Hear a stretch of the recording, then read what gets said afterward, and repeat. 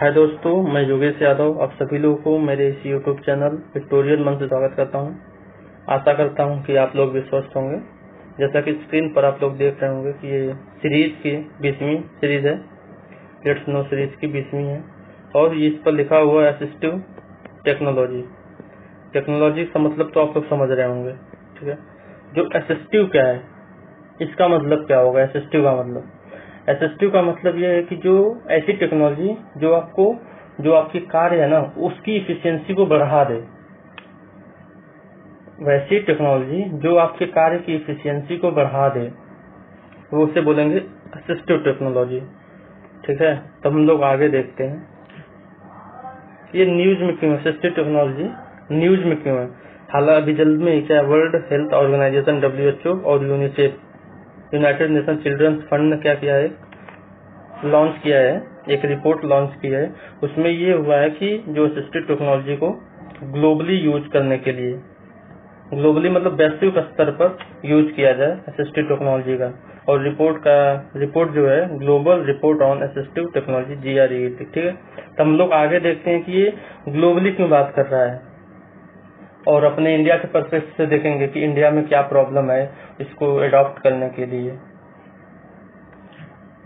अगर कुछ भी लाया जाता है, कोई भी स्कीम लाई जाती है तो उसका एक पर्पज होता है। तो इसका पर्पज क्या है, जी आर ग्रेट का? यूज़ ये seventy one world health age assembly जो हुई थी 2018 में रेजोल्यूशन 2018 में, वो क्या है कि उसको कलमिनेट करने के लिए उसमें ये है कि प्रिपेयर किया गया, एक रिपोर्ट प्रिपेयर की गई effective access to assistive technology effective मतलब प्रभाव तरीके से, प्रभावकारी तरीके से क्या हो सके एक्सेस हो सके, लोग पहुँच सकें, लोग पा सकें किसे असिस्टिव टेक्नोलॉजी को, ऐसे लोगों को जो ब्लाइंड हो हियरिंग इम्पेयरमेंट हो मेंटल रिटायर्ड हो, इन लोगों को ऐसी व्यवस्था किया जाए कि वो आसानी से आसानी से क्या हो सके, वो अपने असिस्टिव टेक्नोलॉजी का यूज़ कर सकें और उपलब्ध हो सके उनके उनके पास। इस रिपोर्ट में ये आया है कि 90 परसेंट लोग क्या है? नहीं उन, उन लोगों को 90 परसेंट ऐसे हैं जिनको यूज़ नहीं हो पाता है। जिनको यूज़ करने के लिए मतलब साधन नहीं उपलब्ध है। वो उनको नीड है उस चीज़ की असिस्टिव टेक्नोलॉजी की कि उनकी इफिशियंसी बढ़ जाए वो कार्य कर सकें। लेकिन उनको 90 परसेंट लोगों को वो मिल नहीं पाता है। Do not have access it globally और वैश्विक स्तर पर रहता है मतलब पूरी वर्ल्ड है जो वैश्विक, एक वैश्विक मानेंगे तो वैश्विक लेवल पर 90 परसेंट पॉपुलेशन जो डिसेबल्ड लोग हैं, उनके पास क्या है? असिस्टिव टेक्नोलॉजी का यूज़ नहीं है। और वो यूज़ नहीं कर पाते हैं। क्यों? क्योंकि उनके पास एक्सेस नहीं है, उनके पास सुविधा नहीं है, उनके पास पैसे नहीं है। Assistive technology progress toward the target in the S sustainable development goal के लिए असिस्टिव टेक्नोलॉजी बहुत ही ज़्यादा इम्पोर्टेंट रोल प्ले कर सकती है।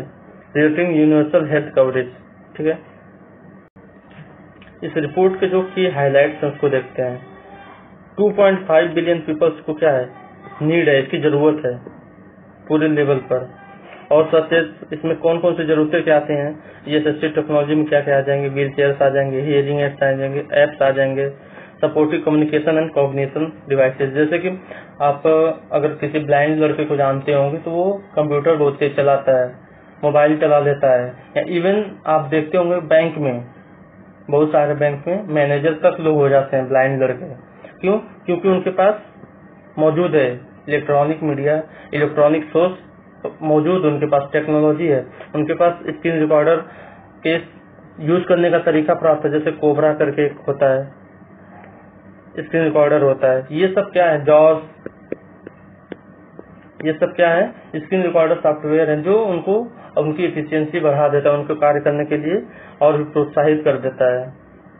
और 1.1 बिलियन ऐसे हैं, जो क्या है कि उनके पास पीपल डिनाइड प्रोडक्ट और उनके पास है ही नहीं। है और कितना है? एज लो और thirty sorry three percent of the need access by assistive product और क्या है? और जितने भी लोग हैं ना उसमें से वन बिलियन लोग, उसमें से तीन परसेंट तो ऐसे हैं कि जो उनके पास एकदम है ही नहीं। Number of people in need of assistive device in future और बताया जा रहा है जो इस रिपोर्ट में पता चला है कि 3.5 बिलियन लोगों को क्या होगी 2050 तक असिस्टिव टेक्नोलॉजी का उपयोग या फिर ज़रूरत पड़ेगी। Last gaps in service provision and trained workforce seventies countries find large gap ये इसका मतलब क्या है? इसका मतलब ये है कि जैसे कि बैंक में काम कर सकते हैं, और भी सेक्टर्स में जो ये ब्लाइंड लोग कर सकते हैं, या फिर हियरिंग एड वाले हियरिंग हियरिंग वाले कर सकते हैं, जैसे एजुकेशन में ही है। तो अगर ब्रेल स्क्रिप्ट ना हो ब्रेल टाइप राइडर ना हो तो क्या होगा कि ये जो टीचर होंगे ब्लाइंड टीचर होंगे, वो और बच्चों को पढ़ा नहीं पाएँगे। तो ऐसे जो गैप है ना टेक्नोलॉजी का और वर्क वर्क में ट्रेंड और वर्क फोर्स में जो डिफरेंस है, जो गैप है ना, ये बताया जा रहा है। सत्तर ऐसी कंट्रीज़ हैं जिसमें ज़्यादा से ज़्यादा गैप है। इंडिया में अब देखते हैं कि इंडिया के परिप्रेक्ष्य में क्या है इसमें।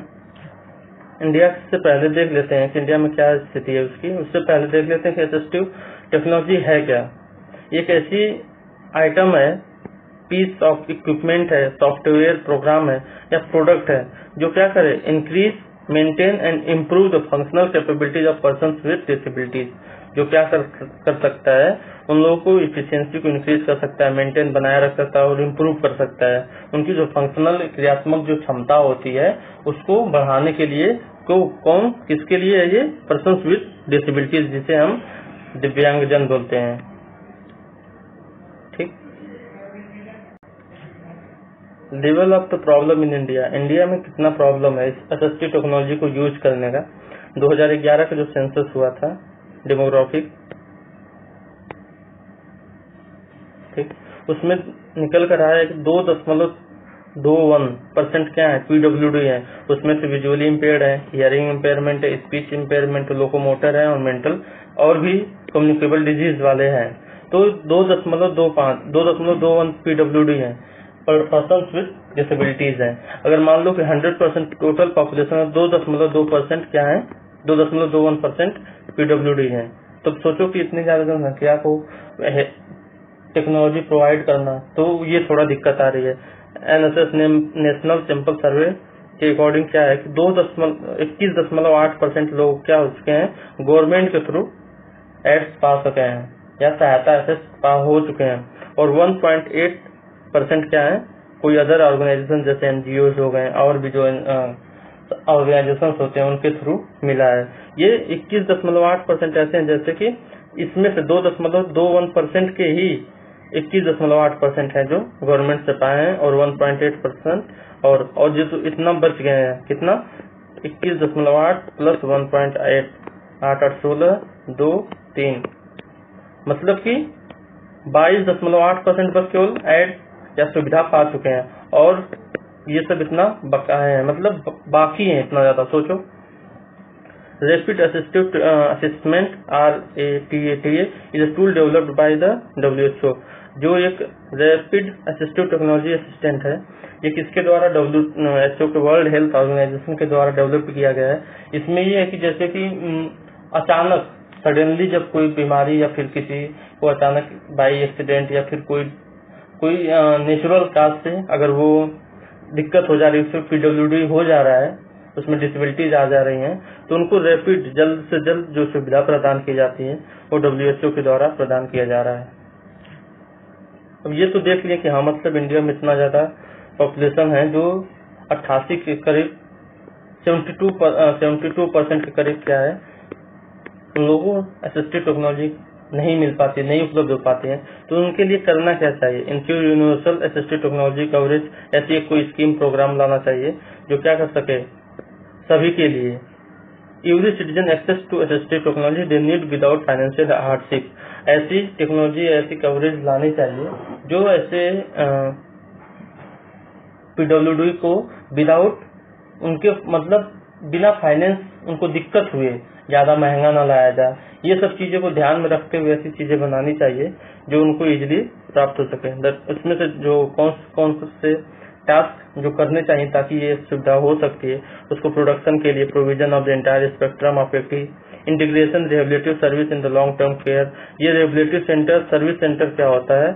जो पुनर्वास के लिए होता है, जैसे कि आप किसी कारणवश पिछड़ जाते हैं। जैसे कि अगर कोई ब्लाइंड है या फिर कोई हियरिंग इम्पेयरमेंट है तो वो कहीं ना कहीं जो नॉर्मल जो चल रहा है, उससे कहीं ना कहीं थोड़ा पीछे होगा। तो उसको मेन स्ट्रीम तक लाने के लिए एक पुनर्वास बनाया जाता है, पुनर्वास संगठन होता है। तो ये होता है इसके लिए प्रोमोटिंग कम्युनिटी बेस्ड रेवल्यूशन और ऐसे कम्युनिटी सामुदायिक पुनर्वास केंद्रों को क्या करना चाहिए? प्रोत्साहित करना चाहिए।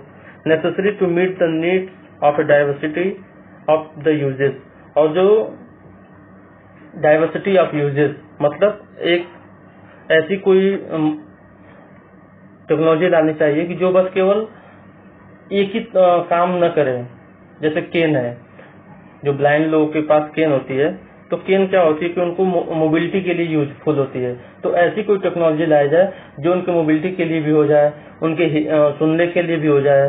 हाँ तो ये और डिस्टेंस जो होते हैं उन, सब चीज़ों के लिए हो जाए तो मतलब एक ऐसी डिवाइस लाई जाए जो उनके हर कार्य के लिए उनमें सहायक करे, उनको प्रोत्साहित करे, उनको इंकरेज करे। हाँ ठीक है? कुछ स्कीम्स हैं इससे रिलेटेड इसको जैसे मेक इन इंडिया स्कीम तो आप सुना ही होगा डिजिटल इंडिया इसमें क्या है? इन दोनों में यही है ना कि आप घर पर बनाइए। मेक इन इंडिया मतलब अपने इंडिया में घर पे। इंडिया मतलब यहाँ पर घर। तो अपने इंडिया में बना, बनाइए। ऐसी कोई टेक्नोलॉजी जो यूजफुल हो made in India make in India हो। गया आयुष्मान भारत प्रधानमंत्री जन आरोग्य योजना हो गई। Assistive assistance to disabled person scheme होती है। दीनदयाल डिसेबल्ड रेवलेशन स्कीम ये होती है। यूनिक डिसेबिलिटी आइडेंटिफिकेशन रिपोर्ट ये चर्चा में है। इसके ऊपर भी एक दिन वीडियो आएगी। ये मतलब उनके लिए एक अलग आइडेंटिटी बनाई जाए, जैसे कि आधार कार्ड होता है, वैसे ही उनके लिए एक अलग आइडेंटिटी हो। International day of person with disability celebrate होता है तीन जनवरी को। ठीक है? इसमें सुधार करने की क्या बात है? और आगे क्या कर, कर दिया जा सकता है इसमें? Improve access within education में उसको मतलब जो टेक्नोलॉजी होती है उसको एजुकेशन से जोड़ा जाए हेल्थ सेक्टर से जोड़ा जाए सोशल केयर सिस्टम से जोड़ा जाए पब्लिक अवेयरनेस बढ़ाया जाए और जो दिक्कतें हैं उनको उससे लड़ा जाए। और invest in data and evidence based policy और ऐसी पॉलिसी लाई जाए हाँ और उसमें ऐसे जगह इन्वेस्ट किया जाए जहाँ पर रिसर्च हो सके। Actively involve users of active assistive technology जो असिस्टिव टेक्नोलॉजी से जो यूज़ करते हैं उनको सोसाइटी में, उनको वर्क में एक्टिव पार्टिसिपेशन हो उनका। Develop the invest in enabling environment और ऐसी इन्वायरमेंट बनाया जाए डेवलप किया जाए, जो उनके योग्य हो, उनके कार्य करने योग्य हो इजिली से वो कार्य कर सकें उसमें। Include assisted technology in humanitarian response और जो ह्यूमनिटेरियन रिस्पांस मतलब कि मानवता से जुड़ी हो। हाँ तो ऐसी टेक्नोलॉजी असिस्टेड टेक्नोलॉजी क्या हो, जो उनके मानवता से और उनको वर्क में मोरलिटी हो। ये नहीं कि कुछ ऐसी टेक्नोलॉजी ला दिया जाए जो लोगों की मोरल वैल्यू या फिर ह्यूमनिटेरियन को खतरा हो। ऐसी नहीं। Enlarge diversity and improve work force capacity और जो इनलार्ज डाइवर्सिटी डाइवर्सिटी को और बड़ा बनाया जाए और इम्प्रूव किया जाए, किसको वर्क फोर्स को इम्प्रूव किया जा सकता है, किसके थ्रू अगर कोई ऐसी सस्ती टेक्नोलॉजी यूज़ किया जाए, जिससे उसकी कैपेसिटी बढ़ जाए या इफ़ेक्टिव हो जाए तो ये बोला जा रहा है यहाँ पर। दोस्तों, ये मेरा इंस्टाग्राम और फेसबुक हैंडल है। यहाँ पर योगेश यादव चिराग से आप मुझसे इंस्टा पर जुड़ सकते हैं और योगेश यादव चिराग पर आप फेसबुक पर भी मुझसे जुड़ सकते हैं। कोई भी क्वेरी हो तो आप मुझसे जुड़ सकते हैं, पूछ सकते हैं। जहाँ तक हो सकता है मैं बताऊँगा। Thank you for today